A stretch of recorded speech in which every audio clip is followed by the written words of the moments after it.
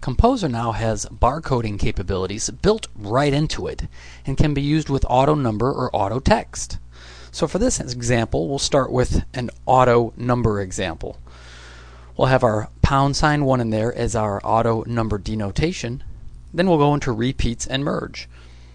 And we'll set up a simple example where we'll create 16 individual auto number examples. Create a starting value of 3 and an increment value of 2, an ending value of 33. And in this case, we're just going to generate auto text just to give an idea of auto text.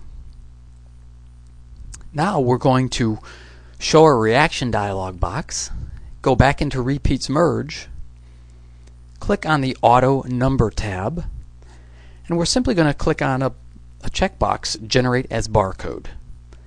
Now we're going to go into the Barcode Properties tab and choose the type of barcode symbology we'd like to use. So in this case, we'll just do a code 39 or code 3 of 9.